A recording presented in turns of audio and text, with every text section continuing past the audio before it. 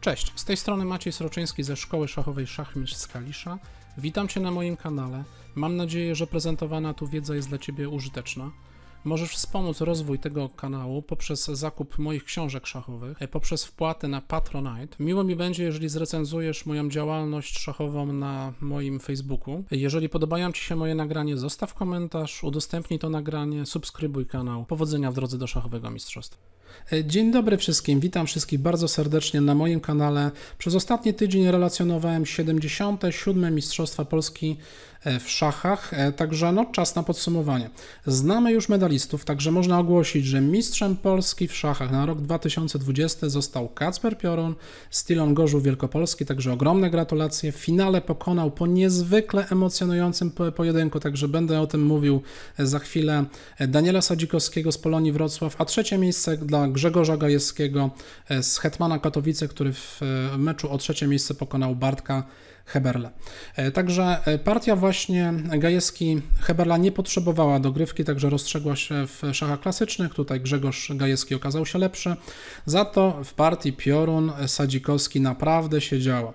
E, W partii klasyczna, w partiach klasycznych były dwa remisy. Także zawodnicy mm, przeszli po prostu do fazy dogrywkowej. W fazie dogrywkowej grano dwa kolejne pojedynki tempem szachów szybkich, 15 minut plus 10 sekund. I tu ponownie e, dwa remisy, także zawodnicy jeszcze się badali, jeszcze nie chcieli się tak za bardzo otworzyć, no ale w blicach to się naprawdę działo. E, pierwszy rozpoczął od, pierwszy rozpoczął Kacper Piorun. Można powiedzieć, że takie walnięcie Pioruna było. Białym kolorem e, miał już dość grania partii hiszpańskiej, dlatego zdecydował się na system londyński, czyli D4, D5, D4 konie F6, goniec F4. I to, jakby to powiedzieć, się opłaciło. Daniel Sadzikowski no, dosyć ciężkie miał chwilę w, w grze środkowej, w szczególności tam pogubił jednego, dwa pionki, ale kiedy już wydawało się, że Daniel Sadzikowski wychodzi na prostą, to wiecie, co się zdarzyło? Daniel Sadzikowski nie zdążył wcisnąć zegara. E, Doszło do takiej wieżóweczki e, i tam dosłownie zawodnicy grali na sekundach. Daniel Sadzikowski miał około 10 sekund, e, Kacper Piorun też około 10. No i po prostu Daniel Sadzikowski tego zegara e, nie zdążył wcisnąć. Tutaj jeszcze warto tak dodać taką jedną ciekawą rzecz, że zanim doszło właśnie do tej dogrywki e, w szachach e, szybkich, e, to co zrobili zawodnicy? Oczywiście było jakieś tam pewnie przygotowanko między, między nimi, to znaczy na nich, jakby to powiedzieć, żeby spojrzeć, gdzie tam się popełniło błędy, żeby zobaczyć, e, co można by było jeszcze innego wybrać E, i co zrobili też zawodnicy, poszli wspólnie na obiad, także macie okazję oglądać właśnie na, na swoim ekranie e, ten, ten, e, tą fotkę, którą zamieścił Daniel Sadzikowski na, swoim, na swojej stronie, także bardzo fajna rzecz. Także Gens u nas Sumus jesteśmy jedną rodziną. e, Poza, poza partią możemy się przyjaźnić, możemy się bardzo lubić. E, Podczas pojedynku jednak no, jesteśmy rywalami i każdy z nas, nas chce wygrać. E, Także wracając do tej e, dogrywki, w szachach szybkich też był remis. e, W, w pierwszą blicową dogrywkę Kacper Piorun wygrał. No i tutaj ogromne też słowa uznania dla Daniela Sadzikowskiego, który musiał wygrać drugą partię dogrywkową, żeby być jeszcze w grze. Remis już powodował, że Piorun zostawał mistrzem Polski. Także tutaj też bardzo fajny wybór debiut, debiutowy dla Daniela, Daniela Sadzikowski. Wybrał, wybrał tak zwaną partię centralną, czyli D4 E4, E5 i D4 e, i tam po E bije D4, Hetman D4, Hetman C4. Także tą partię, ta partia sprowadziła się na takie bardzo agresywne tory. Obie strony miały zrobione różne roszady. Sadzikowski długą, Piorun krótką e, i Sadzikowski po pięknym pojedynku tą partię wygrał i co się okazało, ta partia została właśnie wybrana najlepszą partią turnieju. Także tą partię omówię w osobnym odcinku, bo na pewno bardzo mi się podobała i jest e, godna uwagi. No i moi drodzy, o tytule Mistrza Polski zadecydował Armagedon. Co to jest ten Armagedon? To jest taka sytuacja, w której no, tak równi są zawodnicy, tak ciężko wy, wyłonić tego najlepszego, że potrzeba zastosować taką partię, że nawet remis spowoduje, że będzie wynik rezultatywny. W Armagedonie białe posiadają 5 minut, e, a czarne posiadają 4 minuty, ale to białe muszą wygrać. Jeżeli będzie remis, to remis faworyzuje czarne i to czarne, jakby to powiedzieć, wychodzą zwycięsko. Także no, białe mają przewagę czasu, przewagę koloru, ale czarne mają tą przewagę, że mają ten komfort, że mogą po prostu zremisować. Tutaj w tej bardziej kom- komfortowej sytuacji był Kacper Piorun, bo to on mógł wybrać, czy gra białym kolorem, ale musi wygrać, czy gra czarnym kolorem i gra tak w bardziej sposób na remis. E, tutaj znając Kaspra Pioruna nie zdziwiła nas decyzja, także wybrał kolor biały. E, I tą partię będziecie mogli oglądać e, właśnie za chwilę z moim takim komentarzem. E, w tej, tej partii Kasper Piorun wyszedł zwycięsko, też naprawdę bardzo dużo się działo, także no super, super, super można powiedzieć. Dobrze moi drodzy, teraz kilka słów podsumowania o samych mistrzostwach. Pierwsza runda transmisyjna kompletnie organizatorom nie wyszła, tam było opóźnienie, to wszystko tak słabo chodziło, ale z dnia na dzień można powiedzieć, że było coraz lepiej, coraz lepiej i coraz lepiej i tak tak naprawdę myślę, że e, organizatorzy tutaj naprawdę dali radę, dali mm, kawał dobrej, dobrej transmisji, a przede wszystkim e, tutaj robota, można powiedzieć, zrobił Zbigniew Pakleza, e, ponieważ e, no niektórzy złośliwi mówili, że dobrze, że odpadł w pierwszej rundzie z Kacprem Piorunem, bo mógł dołączyć do tego duetu z, z Piotrem Brodowskim i po prostu ten duet no, wspaniale komentował. Można powiedzieć, że chłopaki się fajnie uzupełniali. Zbigniew Pakleza taka fachowa wiedza, takie konkretne warianty przemyślenia. E, a Piotr Brodowski, szalone pomysły, jakieś ciekawe, e, ciekawe anegdotki, jakieś ciekawe określenia, bardzo, bardzo finezyjny język, także chłopaki naprawdę dobrze się bawili e, i myślę, że z dnia na dzień po prostu wychodziło mi to bardzo dobrze, także gratulacje dla Piotra, gratulacje do Zbyszka, naprawdę zrobiliście dobrą robotę. Zresztą świadczy o tym też frekwencja, bo w finałowym tym etapie oglądało Was ponad tysiąc osób, także ogromna promocja dla Polskiego Związku Szachowego. Tutaj podtrzymuję swoje zdanie, że jednak uważam, że te nagrody są bardzo, bardzo słabe dla szachistów. Także 14 tysięcy minus 10% podatku, minus koszty zakwaterowania, minus koszty uczestnictwa są po prostu bardzo słabą nagrodą dla mistrza Polski. E, tym bardziej, że sponsorzy byli zacni, także wydawać by się mogło, że, że może, można tutaj e, dać troszkę więcej. E, ja dodam tylko jedno, że Radek Wojtaszek, który w tym samym czasie pojechał do Biel, tam nie wiem, czy wygrał, czy nie wygrał, bo, bo nie widziałem ostatecznych wyników, za pierwsze miejsce było 40 tysięcy e, za turniej, który nie jest rangą Mistrzostwa Polski. Tak? Podobne pieniądze gdzieś tam ktoś komentował, że można dostać za Mistrzostwo Niemiec. No wiadomo, inna waluta, inne, inne czasy, może gdyby nie czasy pandemii byłoby lepiej, ale myślę, że warto docenić szachistów, żeby mieli po prostu te lepsze lepsze nagrody. E, sam system pucharowy nie podoba mi się w Mistrzostwach Polski w szachach klasycznych, to, to dodam e, też e, po raz kolejny. Uważam, że w Mistrzostwach Polski w szachach klasycznych powinno być 10, 12, 14 zawodników grać kołóweczkę, żeby każdy zmierzył się z każdym i przede wszystkim, żebyśmy grali wszystkie partie w szachach klasycznych. Uważam, uważam że system pucharowy był świetny i nadaje się na taki inny dodatkowy turniej, chociażby, nie wiem, szachy klasyczne osobne jako Mistrzostwa Polski i Puchar Polski osobno jako na przykład takie widowisko dla ludzi, dla mediów, e, dla mm, osób, które są zainteresowane szachami i faktycznie w tym Pucharze Polski można by było grać tempem szachów szybkich, można by było grać dogrywki e, blicowe, można by było grać Armagedony, to jest naprawdę widowiskowe. Teraz ludzie mają mało czasu, także takie szybkie partyjki naprawdę powodują powodują to, że mogą się no po prostu z tymi, e, że szachy stają się po prostu widowiskowe i można je pokazywać w telewizji. Także myślę, że to sprawa do rozpatrzenia dla Polskiego Związku Szachowego i myślę, że to rozsądny pomysł, żeby zrobić z tego e, dwa takie turnieje. E, Puchar Polski może być grany nawet 64 zawodnikami, później 32, 32 16 i tak dalej, 8-4, także Puchar co rundę odpada połowę i mamy finał. Myślę, że to jest bardzo dobry pomysł.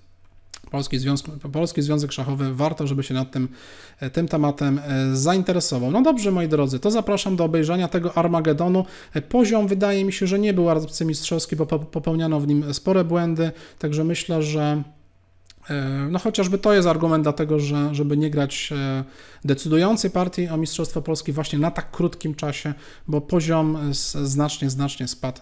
No ale nie umniejszajmy zawodników. Gratulacje dla wszystkich medalistów, gratulacje dla mistrza Polski Kacpra Pioruna, dla Daniela Sadzikowskiego i Grzegorza Gajewskiego. Kawał dobrych szachów. Gratuluję również organizatorom, komentatorom i zobaczcie, jak wyglądał Armagedon. A więc ostatni, siódmy pojedynek e, między Kacprem Piorunem i Danielem Sadzikowskim i to musiał być rozstrzygnięty po prostu zwycięzca czyli zwycięzca, mistrz Polski na 2020 rok. Daniel Sadzikowski w poprzednim pojedynku doprowadził do remisu, wygrał znakomitą partię, właśnie o, o, niej będę mówił w jednym z kolejnych odcinków, także tutaj był taki nabuzowany i w takim z dobrą, z dobrą taką energią wszedł w ten pojedynek, no ale Kacper Piorun dostał biały kolor, grał bardzo, bardzo szybko, no i przede wszystkim, e, no tutaj Daniel Sadzikowski wydaje mi się, że no nie jest specjalistą od, od buletów, nie jest specjalistą od takich partii, gdzie nie ma czasu dodawanego. E, no i też na pewno emocje tutaj zagrały. Zresztą zobaczcie, jakie błędy tutaj obaj zawodnicy popełniali. E, Kasper Piorun zagrał posunięcie D4, poszło skoczek F6 i system londyński, czyli goniec F4. Kasper Piorun właśnie w tym systemie wygrał jedną z wcześniejszych dogrywek z Danielem Sadzikowskim, tą pojedynczą partię. No i stwierdził, że skoro w tym pojedynku mu dobrze poszło, no to zaryzykuje spróbuję, spróbuję zagrać e, jeszcze raz ten sam system. E, nastąpiło E3. Można powiedzieć, że system londyński troszeczkę też miał wprawić w zakłopotanie Daniela Sadzikowskiego, ponieważ nie ma tutaj na przykład już wariantów e, z Nimcowicza, czyli goniec B4, a wiemy, że Daniel Sadzikowski się w tym specjalizuje. Po posunięciu E3 nastąpiło B6. W systemie londyńskim bardzo długo czeka się z tym pionkiem, czasami się go w ogóle stawia na C3, buduje się taki układ, taki troszeczkę można powiedzieć domek, pionek na C3, goniec na D3, koń na F3, koń na D2 i tu różnie, ale najczęściej można tutaj się spodziewać posunięcia E4. Białe zagrały skoczek F3, goniec Z7, tutaj zawodnicy wykonywali błyskawicznie ruchy. H3 jest po to, żeby na ewentualne koń H5 zejść gońcem na H2. Nastąpiła roszada, goniec D3, C5 tutaj absolutnie oczywiście białe nie mogą sobie pozwolić na to. Oddawać pionka za centralnego za pionka niecentralnego, no to jest można powiedzieć zbrodnia. E, po posunięciu C5 e, Hetman E2. E, w tej wcześniejszej partii dogrywkowej Daniel Sadzikowski miał możliwość, tu chyba poszła jakaś taka roszada w tej pozycji i Daniel Sadzikowski zagrał posunięcie goniec A6 i wymienił tego gońca za tego bardzo dobrego gońca D3, także widzimy, że zamysł Kacpra Pioruna był taki po Hetmanie E2, no nie ma już posunięcia goniec A6, bo tutaj zostanie podstawiona figura. W partii nastąpiło skoczek D5 i też, też bardzo dobra odpowiedź. Dlaczego? Jeżeli jeżeli skoczek pójdzie tutaj, a goniec się cofnie, no to e, można się na przykład spodziewać nawet posunięcia skoczek B4. E, na posunięcie chociażby goniec E4 mamy posunięcie D5, no i widzimy, że ten goniec, jakby to powiedzieć, para gońców zostanie złowiona. Pamiętajmy, że jeszcze jest takie paskudne posunięcie czarny, goniec A6 z doskonałą grą poprzekątnej. E, po skoczku D5 nastąpiło C3 i tu wydawało mi się, że Daniel Sadzikowski no fantastycznie rozpoczął, czyli bicie, bicie, e, no i w tym momencie jeszcze bicie na D4, e, przy czym ja teraz nie wiedziałem dlaczego, ale Daniel Sadzikowski złapał się za głowę. Otóż moi drodzy, dogrywka partię 5 minut plus 4 sekundy bez dodatku. Zawodnicy automatycznie te ruchy wykonują. Można powiedzieć, że jest duża szansa, że przegapią jakieś posunięcie. No właśnie, jakie posunięcie przegapił w tej pozycji Daniel Sadzikowski? Czemu Daniel się złapał w tej pozycji za głowę? Ano złapał się dlatego, że to jest taki podstawowy, można powiedzieć, dziecinny motyw, który można było zagrać w tej pozycji. Hetman E4. Także Daniel Sadzikowski dopiero zobaczył to po ruchu, że po hetmana 4 wisi mat na polu H7 i wisi wieża na polu A8. I teraz co jest, co jest najśmieszniejsze? Daniel Sadzikowski, ranking 2500 elo, Kacper Piorun, ranking 2600 elo, obaj tego ruchu nie widzieli.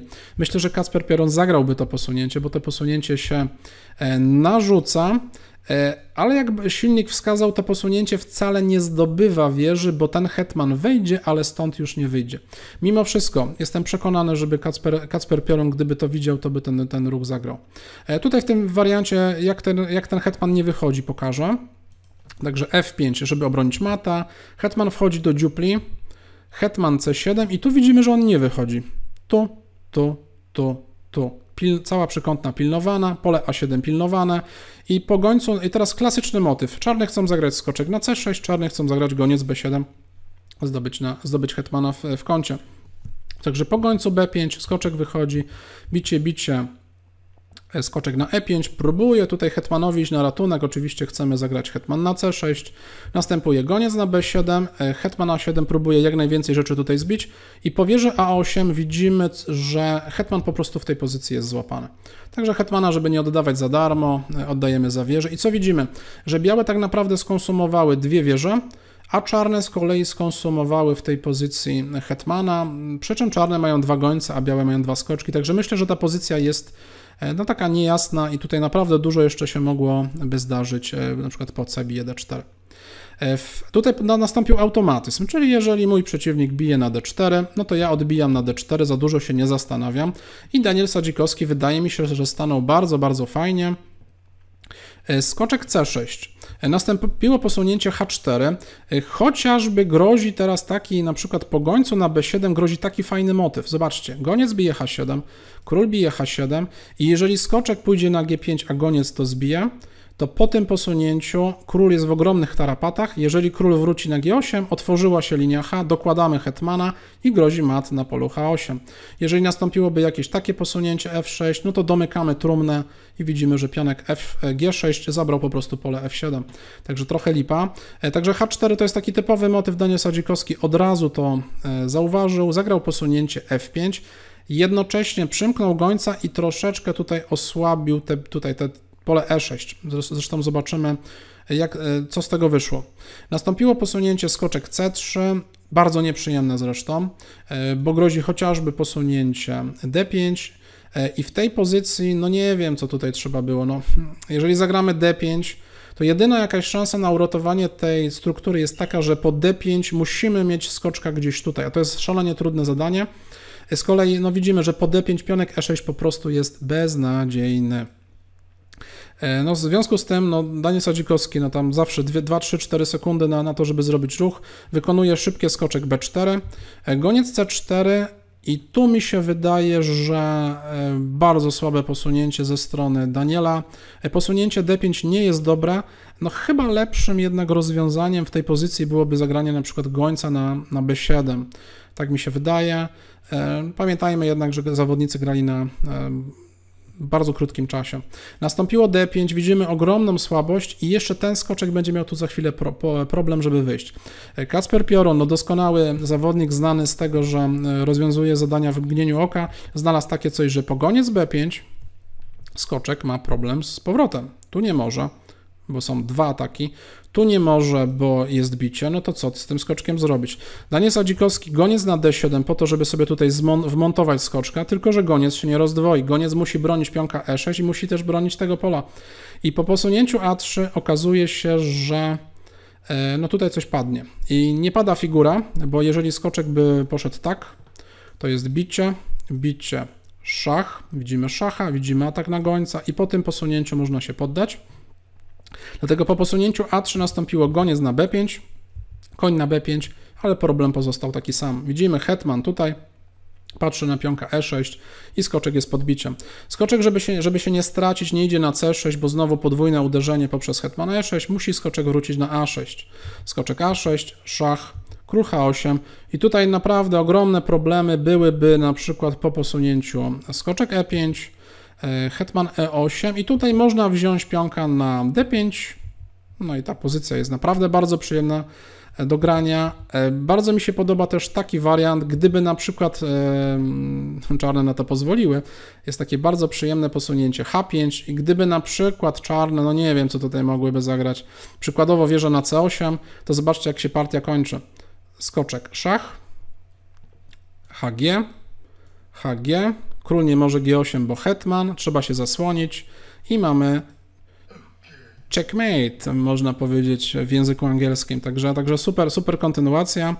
E, król H8, e, tutaj bardzo zdziwiło mnie teraz to posunięcie Kacpra Pioruna. Król F1, chciał schować króla, ale nie chciał też oddawać pionka, dlatego nie robił roszady. Podejrzewam, że po roszadzie po prostu spodziewał się, że spadnie tutaj mu jakiś pionek, nie chciał w ten wariant iść. E, także poszło król F1, ja bym to na pewno takiego ruchu nie zagrał. E, poszło wieża F6. Tutaj no, z dokładnością to naprawdę ma mało wspólnego, te wszystkie ruchy. E, chodzi o to, żeby zagrać szybki ruch, żeby niczego nie podwalić, no ale widzimy, że Daniel niestety ma tutaj sporo słabości. Wieża C1, Kacper Piorun bardzo dobrze na otwartą linię, nastąpiło zbicie, zbicie. Goniec D6 i tak podsumujmy tą fazę debiutową. Białe są z pionkiem więcej, co prawda z pionkiem na linii F, ale mają tutaj zdecydowanie fajniejsze perspektywy. Ten skoczek jest po prostu obrotniejszy, ten goniec jest przymknięty, grozi chociażby posunięcie skoczek E5 i tutaj stworzy się wolny podparty pionek T, pionek z F przesunie się na linię E. Tak zresztą było w partii.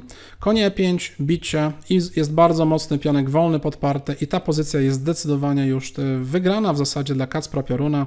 E, popatrzmy jak to dalej poszło. Wieża G6, tutaj F3 też takie raczej podejrzane posunięcie, z tego względu, że dobra odpowiedź nastąpiła wieża C8. Tu oczywiście nie ma posunięcia, czy to król E2, czy król F2, bo po prostu spadnie pionek H4, czyli, czyli a nie, przepraszam, tutaj pionek H4 nie spada, bo na końcu jest mat. Myślałem, że, że jest to, że jest to i że jest to, ale tutaj jest mat. No w, każdy, w każdym razie e, w tej pozycji, no można by było chyba właśnie zagrać wieża C8, wieża C8, i ja myślę, że no innym problemem jest chociażby spadnięcie pionka G2, także tutaj, tutaj w tym wariancie to się ten, ta kombin, ta, ten układ po prostu się zgadza.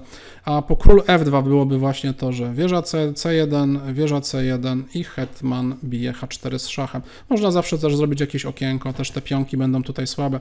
Także F3 raczej był nieudanym, nieudanym ruchem. E, po wieży C8 wieża C3, żeby wymienić, ale żeby y, za bardzo ta pozycja się nie otworzyła. Nastąpiło agresywne H5, y, król F2, Hetman E7. Tu widzimy taki poziom stresu. Daniel Sadzikowski w tak prostej pozycji, tutaj nawet pionka D5 oddaje, no bo po prostu trzeba coś w tej pozycji robić. Pozycja jest trudna, ciężko się gra, kiedy jest tak dużo słabości. Nastąpiło Hetman B4, nie zgadzamy się na końcówkę. Hetman D8, F4, Kacper Piorun, wieża C6, wieża H3, też taki ciekawy manewr, e, może z takim planem, tu i tu.